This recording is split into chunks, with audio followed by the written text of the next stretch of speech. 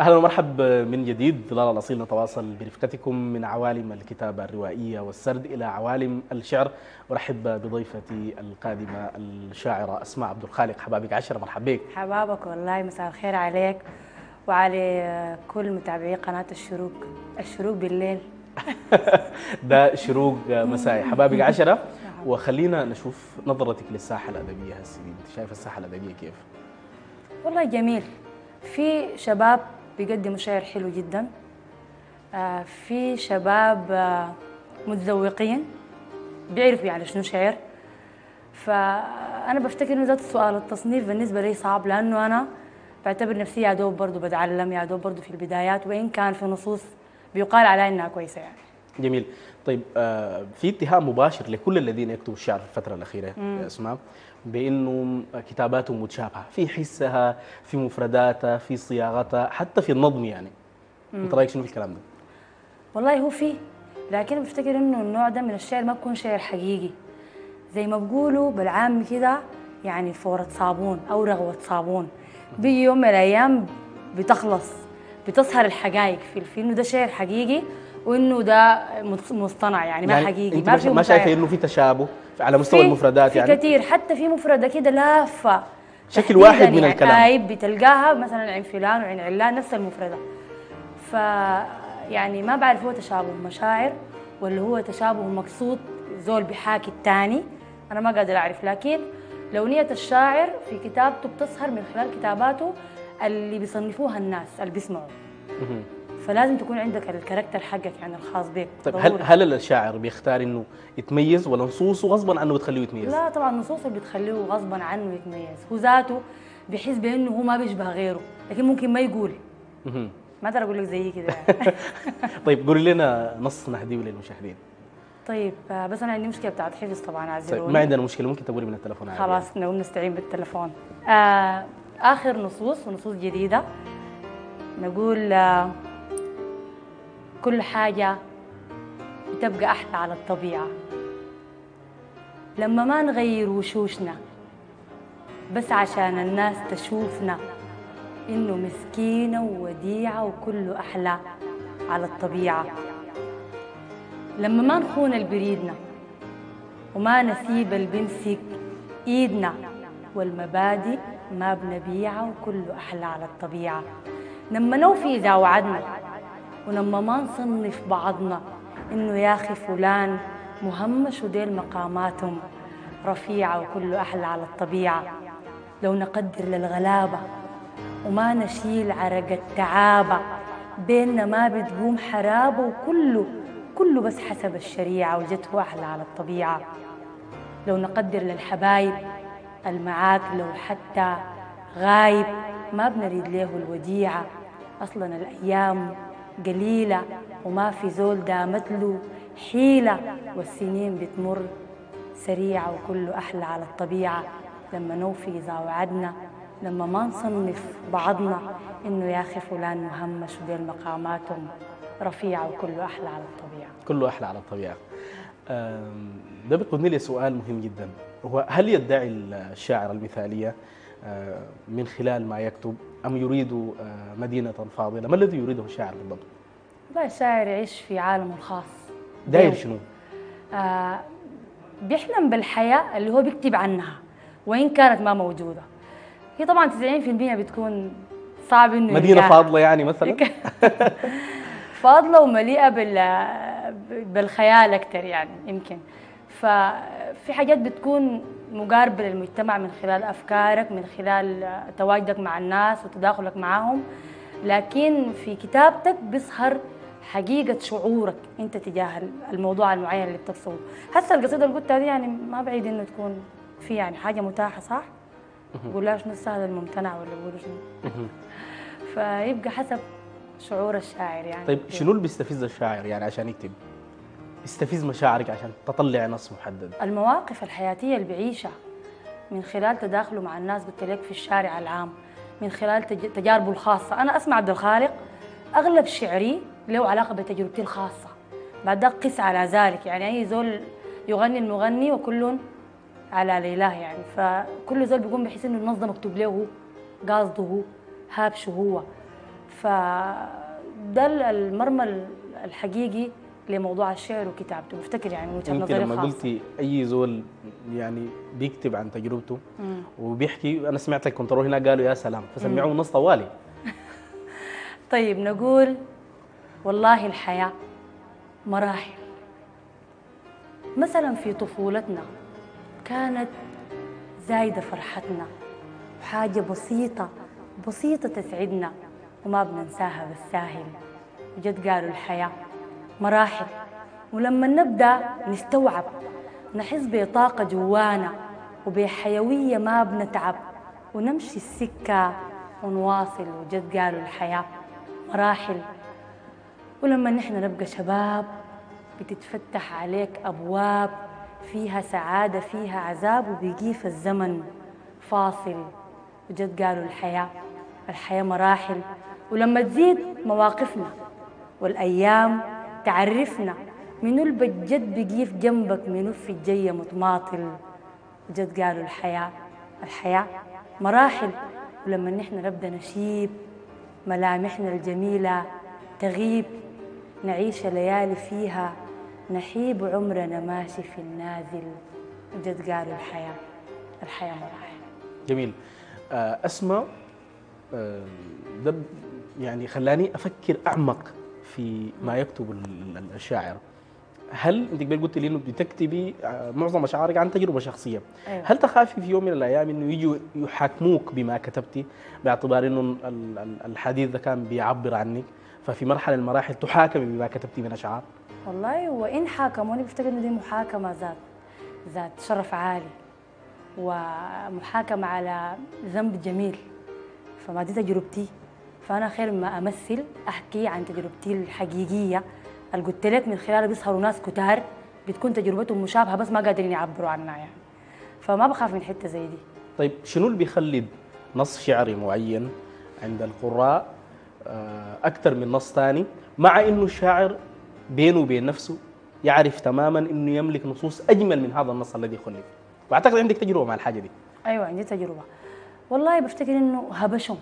شديد يعني. ما في آه، لغة ال- ال- الكتابة ذاتها في لغة قريبة من الشارع شديد وفي في لغة بتكون خاصة بك انت وفي حاجة بتكون بعيدة من الناس. يعني مثلا أقول لك يعني والله مثلا معلش المقاطعة يا أيوه. أسماء هل في ثلاثة لغات يعني؟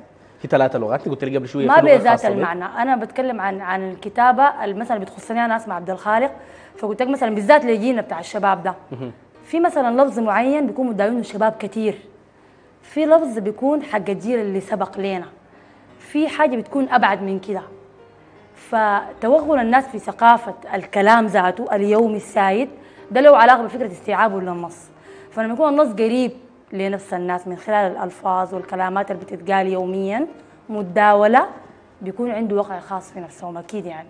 أفتكر طيب كده. يبقى شنو ال- ال- اللي بيميز ال- المفردة الشعرية من المفردة العامية التي يمكن أن تقال في الشارع؟ إذا أنت تناولتي حديث الشارع عشان القصائد تخلد يعني. طبعا دي ما فيها حس عالي فيها قافية جميلة فيها دوزنة مختلفة. ما زي ما أنا أدي ال ال ال ال ألقي النص إلقاء وأجي أديه لمغني بتظهر جمالياته أكتر لما يقع عليه اللحن بنفس الفكرة. فعشان كده بيختلف إنه تكتب شعر مما تقول كلام ساي. جميل. في مقولة مأثورة عن الشاعر السوداني الراحل حسن الزبير بيقول إنه إذا أراد الشاعر أن يتميز بما معناه إنه يأخذ كلام الناس في العامة ويحول له مفردات ويطلق لهم على شكل قصيدة. فيبقى كيف بتكتب أسماء عبد الخالق؟ والله بنفس النظرية اللي قلتها آه إنه يا أخي ضروري تكون قريب من الناس ومن قلوبهم زي ما قلت لك قبل شوية من لهجتهم من الحاجات اللي بيحبوها. لكن ده ما معنى إنه أنا أقوم أمشي أقول لا أنا مثلا داير اكتب آه، قاصدة إني أكتب مثلا الليل الرخيص ما بيبقى غالي عشان الناس لا. ده شعوري الحقيقي اللي اتمخض عنه ثقافة الشارع العام مجتمع في قصيدة يعني. طيب نسمع نص. نسمع نص. طيب دور حريدة ما بيبرى. إلا بعد ترد التار من زولا جرح قلبك هو كان خاين وكان غدار زرع أشواكه في دربك حرك أسهار هواك بالنار. وبين إيديه ضاع حبك وباع الريدة بإشهار كتل معنى الفرح جواك سكت كل غنى الأوتار. وفي لحظات نساه هواك وقال طيفك بقالوا غبار. زمان ما قال محال ينساك وقال عينيك أجمل دار. وقال درب المشاه معاك سكة ملانة بل أسهار خلاص ضيع ربيع عمرك. بقيت أسهار بلا نوار. ولا هماه يوم أمرك وقال إنه الزمن دوار زي ما قلبه يوم. ظلمك بيجي اليوم اللي بعيش محتار. وإنت حتنسى لي جرحك؟ وريده حيبقى ليك تذكار جرح الريدة. ما بيبرى إلا بعد ترد التار من زولا جرح قلبك هو كان خاين وكان غدار. يا سلام. آه، أسماء هل يقصد الشاعر أن يخلد الأحداث بما يكتب من أشعار؟ بمعنى أنه آه، إذا حصل لك حادث محدد آه، عندك أكثر من وسيلة للتعبير. إذا كان حادث محزن أو حادث مفرح. هل يختار الشاعر التعبير بالقصائد باعتبار ليخلد الحدث؟ طبعا هو ده ما المتنفس بتاعه. فمثلا زول بتحصل معه تجربة بيجي يبكي شديد. في زول بيبتسم وهو مجروح. في زول بيكتب بيعبر عن الموضوع ده بالكتابة. وطبعا دي من أعظم النعم علينا من رب العالمين إنه نقدر نعبر بالكتابة. فأنا زي ما قلت لك قبل إنه لها علاقة بالمواقف. اللي بتخص الزول وتجاربه وكده. يعني أصلا النص اللي قلته ممكن يكون رجعني 15 سنة لورا بموقف معين. النص مثلا اللي قبله آه، ويعني قبل فترة قليلة من الزمن. فتوثيق الأحداث من خلال الشعر بيحصل مع الشاعر من غير من غير قصد يعني. مرات بيكون في أحداث عظيمة جدا وتغلب ال- الشعراء إنه يعبروا عنها. يعني الشاعر اللي كتب أعظم المفردات والناس هاموا بكلماته واستخدموه وعبرت عنهم. يحصل له حدث معين مفرح أو حزين؟ ما يستطيع يقول فيه ولا كلمة ويكون منتظر سنة وسنتين إنه يعبر عن اللي جواه عن حزنه عن فرحه بقصيدة وبرضه تغلبه. وقفة يعني تبلد زي ما بيقولوا بتاع مشاعر. مرات فعلا بيحصل معك بتحصل معك حاجات بتكون واقف في مكانك ما عارف تتصرف. تكتب تقول. بيكون ما في وسيلة للتعبير. فعلا بتحصل حاجات زي دي. يعني مثلا قدامك دي قاعدة أجيب فترة طويلة من الشعر. يعني ممكن سنتين سنة ونص ما أكتب تحصل حاجة تحرك ال- الحاجات القديمة. أو حاجة تصدمني فترة لكن بعديها لازم يكون في في ردة فعل. لكن ممكن تيجي متأخرة يعني. فزي ما قلت لك بس هو فترة بتاع التبلد بتاع مشاعر ليس هل بالضرورة أن يكتب الشاعر آه، ما يشعر به أو ما يحسه؟ آه، ولا في مرحلة معينة الشاعر بيصلها ال- القصيدة والنظم عنده بيصبح عبارة عن صناعة. صنع دي أنا غايته ما معاه أنا ما والله زي ما بيقولوا ولا بعرف لا ذاته. فحسب قلت لك المواقف الحقيقية بس لو كان بتخصني أو بتخص غيري. يعني حصلت معي زمان في واحدة حكت لي آه، يعني موقف بخصها فاستفزاني وكتبت عنه. لكن طبعا للأسف ما بتذكر المده طالت يعني. لأنه حتقول لي قولي لا ما تقولي أنا أنا عايز ف- أجيف معك على تجربة الكتابة عند الشاعر. يعني كيف بتكتب أسماء عبد الخالق؟ هل آه، تستفز مشاعرها بسماع لنص محدد أو أو استدعاء ذكرى معينة عشان تكتب آه، نص؟ ولا تقعد في حالة انتظار إلى أن يجبر النص على الكتابة؟ لا في حالة انتظار. هسه أنا النص اللي قريته قبل شوية أو أو في أول الحلقة واقفة قبله قريب السنة وسبعة شهور من الكتابة. إلى أن تجيني براها. أصلا ما ما بستعجل لها يعني. لازم تحصل حاجة تعمل حراك شديد جوا عشان بعد ذاك يطلع النص المعني يعني. جميل. نسمع نص ثاني. نسمع نص تاني طيب نقول الله يستر. أنا مالي زي حبيت عيونك الله يستر.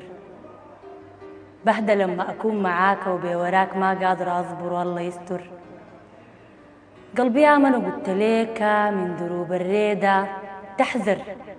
بكرة تتعود عليه وحبة حبة القصة تكبر وتبقى ريد من غير نهاية وتحسب النجمات وتسحر الله يستر. والهوى يقلل منامك وبرضه حاجات تانية أخطر والله يستر. وكان سمعت كلامي أحسن قلبي.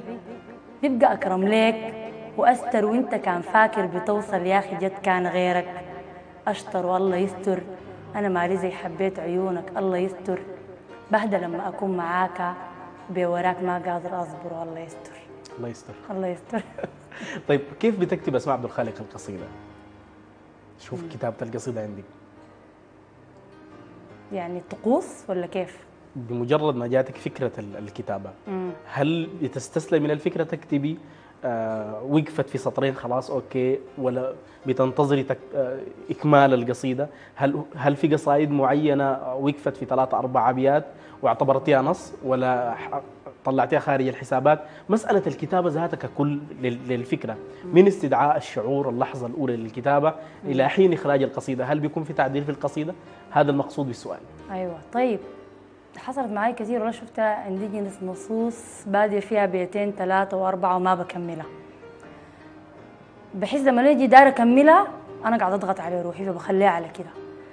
بخليها بيتين ثلاثة زي ما هي. ف تحسبيها قصائد منقوصة ولا بتشيلها من حساباتك؟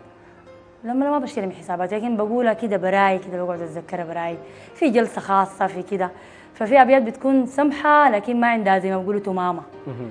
يعني مثلا عندي آه آه نص بتذكر كتبته زمان آه بيقول له اعتبر ده قرار أخير مستحيل أقدر أسامحك ويا ما سامحتك كتير. وصله كان الريت شقاوة يا أخي خلي الريض يطير. قام النص كله طار غايته وقفل توقف لحد هنا. جميل. نتكلم برضو عن المشاركات الداخلية والخارجية واسهامها بالنسبة للكاتب والتعريف به.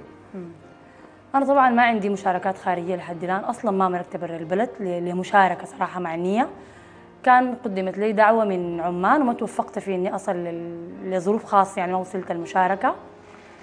ف جوا هنا بس من زمان مبارية المنتديات والشعر وكذا لكن بدايتي كانت في نجوم الغد. آه إلى أن آل بي ال- المقام في شوارد. كان برنامج بيتقدم كوثر بيومي لو بتتذكر. ولا أنت صغير الزمن ده. اللي حضرته.